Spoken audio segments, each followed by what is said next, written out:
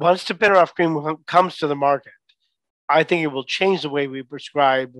treatments for eczema as well as psoriasis because of the marathon effect. I think we would probably start tapinarof cream as a maintenance with topical steroids, put out the fire, and maintain them on tapinarof cream for the long run. Same with psoriasis. I would probably do the same with even topical therapies, light therapies, and everything else, and incorporate tapinarof cream as something that's going to maintain their plaques and keep them under control because of the mechanism of action. And I, I think in the long run, we'll we'll see these drugs, both tapinarof cream, roflumilast, ruxolitinib, all of them will come to a place where we'll understand what is going to change the way we prescribe steroids, especially with patients with steroid phobia who are reticent to get more steroids or more triamcinolone, if you will, and uh, I think the the op- opportunity to keep the uh, disease under control is, is well in front of us.